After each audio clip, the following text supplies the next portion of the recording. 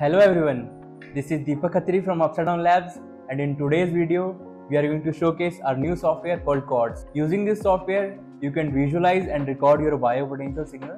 Currently I have connected a muscle BioAmp Patchy and 3 BioAmp EXG pills to my body to record single channel EMG, single channel EOG, one channel ECG and EEG and using Chord software we are going to visualize and record all these biopotential signals simultaneously. I have connected all these sensors to Arduino Uno R4 using a custom shield but you can use a breadboard as well. Basically you have to provide power to the sensors and take output of the sensor then connect it to all the analog pins of your Arduino.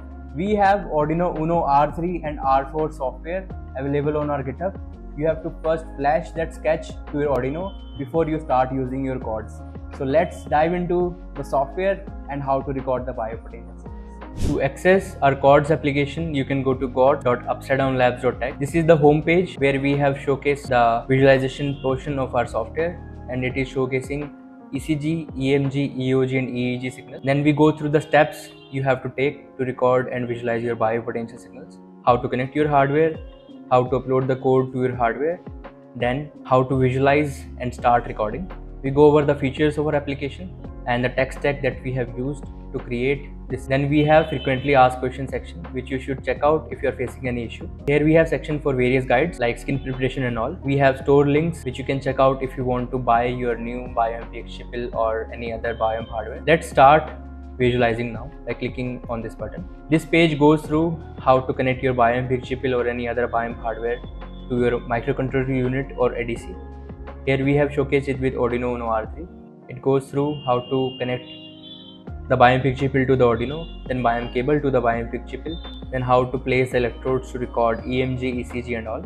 To start visualization and recording, hit on connect. Here you have to choose your Arduino hardware which is CDC port COM13 for Arduino Uno R4. Here you have to connect and this should start visualization in a second. Here you can see the ECG signal coming from the A0 input of Arduino. I can click on auto scale. I can increase the number of plots I want because I have connected multiple sensors to this board. First one is ECG, second is EMG. If I am flexing my muscle, you can see the signal. Third is EOG. If I blink my eyes, you can see the signal. The last is EEG. You can see some artifacts. I can hit auto scale again. This normalizes the signal from 0 to 14 bit resolution of the Arduino Uno R4. Then you have option to start recording.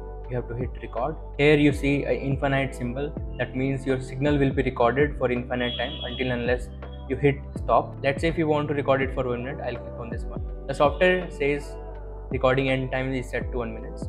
Let's wait for some seconds. Once this timer is ended, your file will be downloaded automatically. To download the recorded file, you have to click on this download button.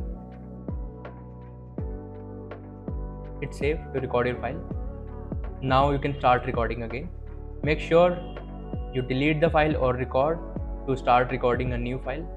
If you don't do that, the recording button will be disabled.